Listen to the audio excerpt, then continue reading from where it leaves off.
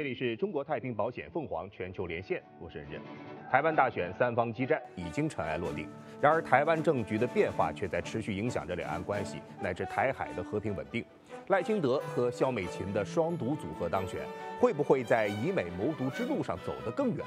民进党进入第三个四年的执政期，未来中美围绕着台湾问题的角力会不会进一步的恶化？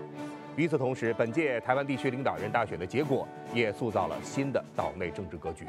在台湾过半选民希望政党轮替的背景下，绿营仅以四成的得票率赢得选举，蓝绿白形成三足鼎立之势。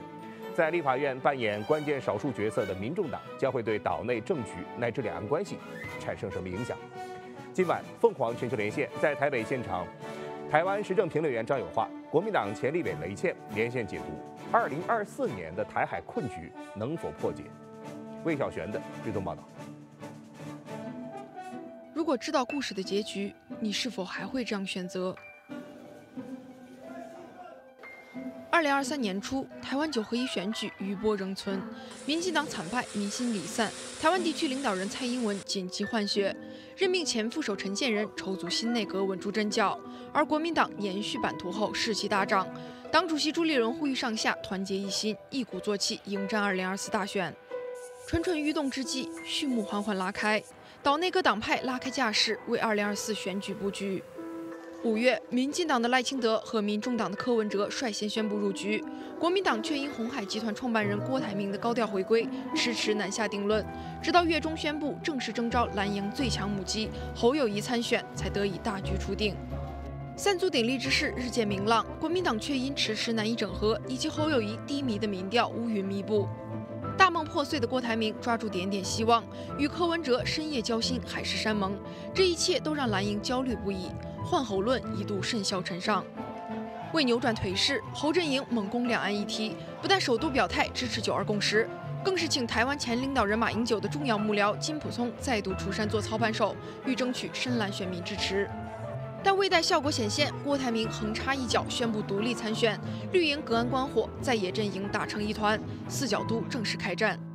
各方势力此消彼长。接下来的几个月，国民党一方面力防郭台铭对党内的分化，另一方面力促蓝白合作，但作为关键少数的柯文哲却始终态度暧昧，从蓝白合喊到蓝白拖，两党你来我往，多轮交手，始终在正负之争上难做退让。各自算计下，蓝白终是在大选登记日前宣布破局，剩下的只有兄弟登山，各自努力。倒数五十天之际，郭台铭宣布退选，侯赖科各携副手登记参选，混沌不清的形势终于明朗。蓝绿白在最后的日子里奔走造势，相互厮杀，丑闻源源不断，承诺口若悬河。待辩论落幕，民调封关，三方近身肉搏，在大选前的最后一个超级星期天，兵戎相见。在选前之夜背水一战。一月十三日，二零二四台湾大选结果出炉，民进党获得超过五百五十八万票胜出，柯文哲、侯友谊宣布败选，未能完成政党轮替，我让大家失望了。但相比二零二零年的双输，国民党在同时出炉的二零二四台湾立委选举中险胜拿下五十二席，成为立法院最大党，朝小野大终成定局。国台办发言人表示，这次台湾地区的两项选举结果显示，民进党并不能代表岛内主流民意，也改变不了两岸关系的基本格局和发展方向。大选落幕后，美国随即派出非官方代表团访台，拜会各政党主要人物，背后目的不言自明。而继去年年初中美洲国家洪都拉斯抛出火把，与台湾断绝所谓外交关系后，太平洋岛国瑙鲁也于十五号闪电宣布与台湾断绝官方往来，骨牌效应愈演愈烈。再次来到十字路口，台湾会怎样选择？历史重演，绿营胜选继续执政，台湾会走向何方？朝小野大，国民党成立法院最大党，纷争已注定。暗流涌动，大选落幕，新生态如何重塑两岸关系？战争还是和平？和八年前上台的蔡英文相比啊，赖清德的台独理念可谓是有过之而无不及。两岸关系的现状和八年前相比也发生了天翻覆地的变化。我们首先请教一下雷倩女士了啊，都说历史是一面镜子，那么赖清德的上台会是呃蔡英文的镜像翻版吗？您怎么来比较这两个人当选和执政他们的相同点和不同点？赖清德在他每一个政治生涯中间都显现出比蔡英文更为一意孤行的态度。譬如说，他在台南市长任内，就因为不愿意被市议会质询长达半个半年多，整个市政府都不进议会，完全不受民意的监督。也在他曾经作为这个行政部门的副负责人的时候，说他自己是务实的台独工作者。这两点的特点呢，都是在蔡英文的历史和他的从政生涯中间没有见过的。因此，在蔡英文当选之后，中国大陆给了他一定的时间。我认为赖清德绝对没有任何的蜜月期，因为他的历史以及他的经历都告诉我们，他往中间挪移的机会非常的微小。而坚持他自己路线的机会是绝大。嗯，确实啊，呃，赖清德呢自称是务实的台独工作者，而他的副手肖美琴呢也是被国台办两度点名加码制裁的台独顽固分子。呃，张友化先生，这样的双独组合现在在台湾联手执政，这对于两岸关系意味着什么？这对两岸关系意味着五件事。第一个。中国大陆已经对肖美琴跟赖清德死了心，就换句话说，未来的军事威慑的力量只会加大。第二个，两岸经贸的往来，确切的说，好，确切的说，可以这样讲，就如同 A 克法一样，中国大陆会以贸易壁垒障碍的名义，逐渐，哈，逐渐，逐渐的，逐渐的。压缩台湾的经贸体系，这第二个。那第三个，政治上面是不可能谈的，就是说，中国大陆绝对不会跟赖清德谈，除非赖清德做出善意，废除台独党纲，然后回归到九二共识的正轨，或者在。重要的职位上面，像好比说是陆委会军情首长能够提出善意，否则政治对话是完全中断。那第四个，中国大陆只会更加压缩台湾的空间。那这个空间，不管是台湾的邦交国也好，或者对于一中政策的坚持也好，就要看赖清德怎么应付。这是第四个。第五个，那我觉得比较重要，就是战争跟和平的选择。你和平慢慢的脱轨，战争呢慢慢的接轨，就要看赖清德未来在两年以内，他会做出一个什么样的两岸政策。这个是中国大陆正在观察的。诚如我的朋友包道格先生曾经讲过一句话，最近讲的，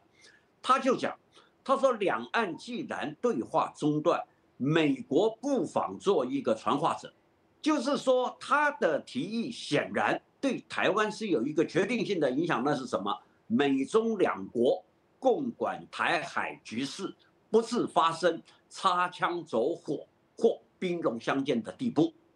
嗯。民进党现在进入到了第三个四年的任期啊，两岸的关系呢可能会出现更多的不确定性啊。雷倩女士，大陆在口头表态之后啊，可能还会有什么样的反制措施？您又如何来评估这种反制的力度？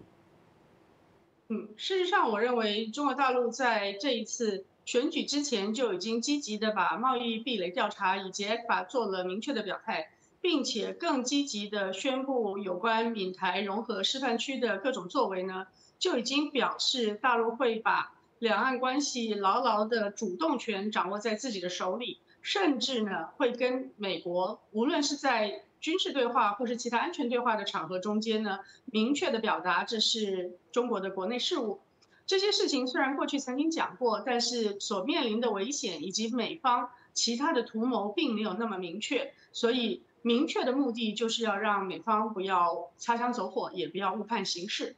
看起来，要是直接要对付台湾的话，中国大陆可以使用的手段的确非常的多。正如同张永华先生所讲的，问题是和平统一的这条路线如果还没有走到最后不可能的尽尽头，那么中国大陆对于台湾的民众、老百姓，至少目前在国台办所接诸的立场呢，还是希望两岸能够有智慧、有能力自己解决自己的问题，用和平的方式来完成民族的统一。因此，它可以使用的有许多的经济、金融，呃，甚至在呃某种程度上面的灰色地带的军事行动都是可能的。而这些可能主要是要让赖清德明白，中国大陆所讲的并不是只是空话而已，而是会有实际的行为作为他背后的基础。另外呢，对于赖清德所讲的，也就是说，即便他会退出，呃，废除这个台独党纲，或者是退出新潮流，对于他所做的事情，我也认为中国大陆会用更为谨慎的方式，既听其言，更观其行。用更谨慎的方式来看这一位长期以来坚决主张台独的赖清德以及他的副手肖美琴。嗯，那张永华先生，您觉得未来的四年啊，大陆对民进党执政的反制措施以及反应的力度啊，将取决于什么要素？它还是取决于三个了。第一个就是军事，除了灰色地带以外，更重要的会不会让？台海内海化，这个是大家可以观察的指标。就是说，至少我台海内海化对于台湾施加所谓的军事威慑的压力，看赖清德能不能承受，这是第一个。那第二个，就政治上面来讲的话，美国会跟中国大陆加强各项的安全对话。军事对话、安全对话，还有战争对话，美国会加强。这次哈德利来，这一次斯坦伯格来，都是正正面的传达这个讯息，就是说赖清德要延续蔡英文的政策路线，是不回避、不挑衅，好，不回避跟不挑衅这两项，他必须他要做到。换句话说。赖清德极有可能将两岸的主导权完全交给美国，就是说，哈德利来也好，斯坦伯格来也好，他们一直跟赖清德强调所谓坚持蔡英文的路线，那是什么意思？就是不回避嘛，你不挑衅，还有一个不意外嘛，三不政策，就是说赖清德必须要做到这三不政策，美国才有可能支持他。只要这三部政策有一个出了问题的话，赖清德就要负责。嗯，这个是政治。那第三个就是说，美国对于二五哈七八号的一个解释文，罗森伯格已经打开了潘朵拉的盒子，就是要看赖清德接不接受。这个是大家比较忽略的部分。嗯。呃，张友华先生提到一个非常关键的问题，就是赖清德执政以后会把台海问题的话语权完全交给美国，还是会体现出更多的独立性啊？呃，雷倩女士，我们知道在台湾大选之前呢，中美其实中美的高级官员啊进行过多轮的对话，台湾问题是其中的非常重要的议题。那您认为未来中美在台湾问题上的博弈会有哪些新的动向？嗯，如果真如张友华先生刚刚所说的话。台湾把所有的主动权交给美国，那么就会变成是中美两个军武大国也是核大国的对撞。因为中国大陆讲得非常清楚，台湾问题是中国的内部问题，那么事实上不容许所有的任何的外国势力的干涉。那如果美国成为了台湾对话的这一方的话呢，那自然就会是两边直接的对垒。我想目前看起来这个机会是比较渺茫，因为现在。美国会极力的避免有两个核大国能够直接可能会直接对垒的任何的可能性，因此我认为目前对于台湾来讲，可能最好的消息是朝鲜半岛的情况变为严重。那朝鲜半岛呢，韩国跟朝鲜都各自是代理人，所以没有直接对撞的可能性。那么，但是我觉得更重要的一点是，美国虽然有很多的政治人物到台湾来穿梭。但是美军在台湾的布局却是紧锣密鼓。如果你无论是在台湾内湖地区，或者是在几个重要的军事设施附近呢，都可以看到有更大规模的或者是人数更正众多的美军在当地，并且据我所了解，他们也在不同的情况之下呢，跟台军有更多更密切的联络，而且对于未来若是发生战争的时候，有一些必要性的布局也在开始展开讨论。因此，我认为美国最呃对于台湾最大的危险是美国在台湾有更大的军事存在，也在台湾有更大的军事影响力。如果没有更大的军事存在跟军事影响力的话，那么两岸还是有机会用对话的方式和平解决两岸的问题。嗯，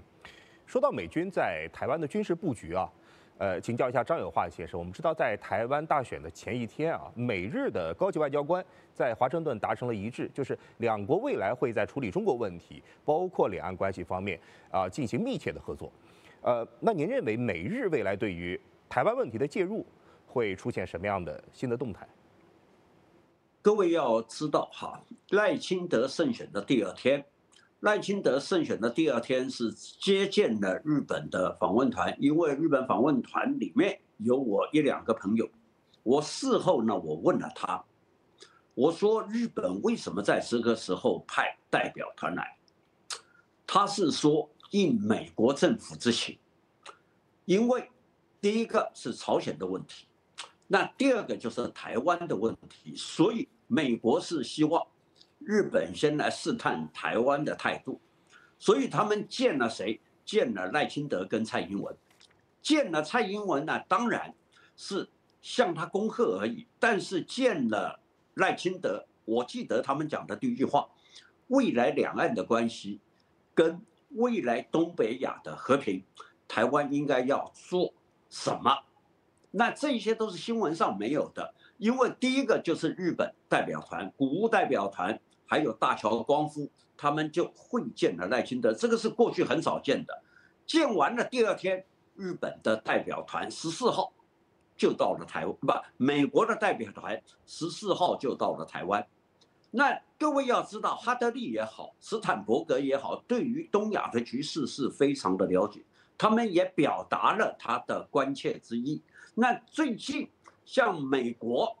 各位去看葛莱伊也好，柯庆生也好，东亚副驻青也好，他曾经担任过东亚副驻青，就是一再规劝赖清德，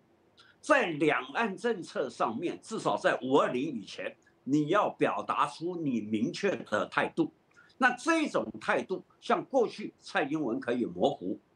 然而他们不会让。赖清德有模糊的空间，所以我们仔细看，美国跟日本这两个代表团都是十三号、十四号就不十四号、十五号见了，见了赖清德，各位就可以看得出来，美日代表团来必然是日本跟美国在那边会谈所谓东北亚和平。然后日本他应该承担的责任，还有台湾应该扮演的角色，应该都已经讲得清清楚楚。所以，我们从这个角度你来看，现在赖清德没有就任前，中国大陆也好，美国也不会对他施压。可是，真正的关键是五二零，他的态度已经不能够再像蔡英文一样，过用回避的方式。好，或者用委婉的方式来回应两岸关系，这个时候，美国、日本、中国大陆都要看你五二零的就职报告，你的明确的态度那是什么，才能够决定下一步的动作。嗯，稍后回来，我们来聊一聊这一次的台湾地区领导人选举所形成的新的政治版图，将会如何进一步的影响岛内局势。稍后见。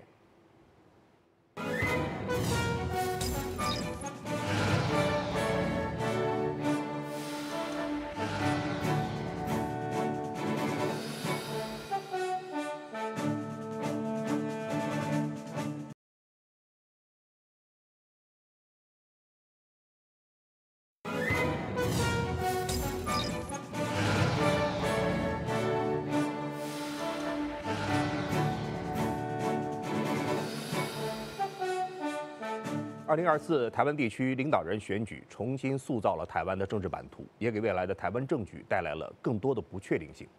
首先，请教一下张友华先生，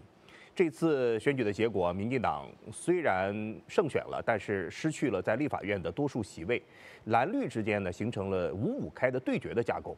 在这样的情况之下，柯文哲他所带领的民众党作为关键少数，会在未来的台湾政局当中发挥什么样的作用？我从一九八五年跑，呃，台湾的立法单位，从一九八五年看到现在。事实上，柯文哲说所要扮演的少数关键，是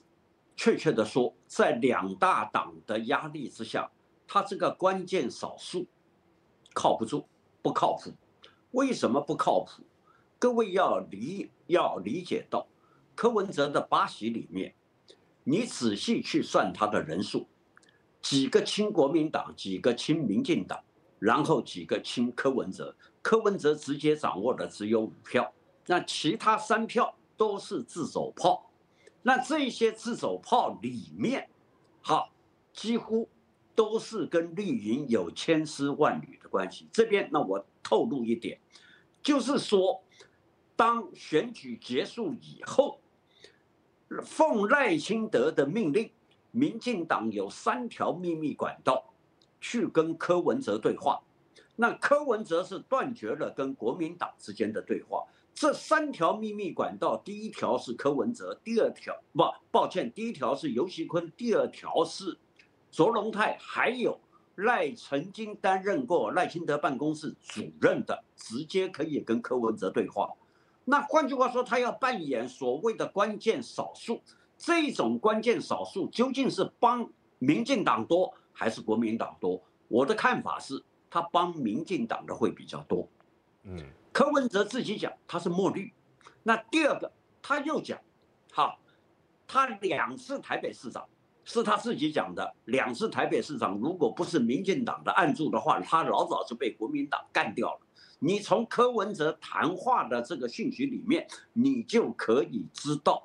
他想要扮演关键的少数，是除非国民党放权让利放的更多。否则的话，他未来合作的对象应该会向资源比较多的民进党。嗯，呃，雷倩女士啊，呃，说到柯文哲，从选票上看呢，柯文哲这一次的表现确实出乎了很多人的意料之外。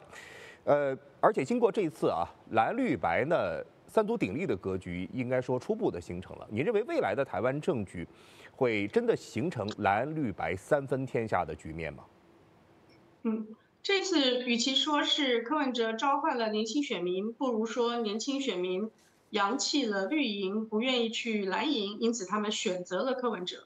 如果从这个角度来看的话，柯文哲的这股势力是蓝营当初想要操作弃保，绝对没有可能呼召回来的。因此这一股力量呢，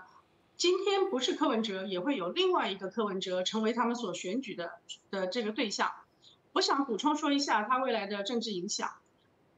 白银的八席在现在立法院的八个委员会里面，可以公可以完整的涵盖了八个监督行政部会的委员会。其中呢，黄珊珊跟黄国昌各自会在法制司法跟财政委员会里面扮演重要的角色。如果在政党合作的前提之下，他们甚至有可能选任为召集委员。召集委员有排案子的权利。也有去请部会到立法院来备询的权利，所以召集委员有一定程度的监督能力。接着就是在预算的时候呢，这八人如果能够成为一个非常齐心的团队，可以根据民进党所提出来的预算做非常明确的监督，并且提预算的修正案、删减预算。最后一个就是在我们的制度里头，经过了委员会以后的议案，如果有不能够解决的差异的时候，是由一个。叫做协商法制化之后的朝野协商机制来处理，这个机制呢是不管你有多少席，五十几席的国民党是一票，五十几席的民进党是一票，八席的民众党也是一票，就是一个政党是一票，必须要在这个朝野协商中间得到共识以后才能到院会去。如果朝野协商不能得到共识的话，就要进入第二轮的谈判跟处理。所以你可以看出来，固然席次只有八席。但是他们能够完整的去涵盖八个重要的部会，呃的监督的委员会，并且可能取得招委在蓝绿都会对他们礼让的情况之下，取得各一席的招委，因为每个委员会有三个招委。那么，并且在朝野协商的时候，可以把他们的选票放大到与民进党跟国民党同等的位置，就是各党各一票。因此，这个力量呢，将来也会在下一次的地方诸侯的选举，就是县市首长的选举中间推出他们的候选人。现在最明确的就是黄国昌已经开始布局新北市，所以我想这个力量既然是年轻选民所支持的力量，那么未来他的。未来的这个续航力呢，应该还是有一段时候的。嗯，谢谢雷倩女士和张永华先生，凤凰全球连线，明天见。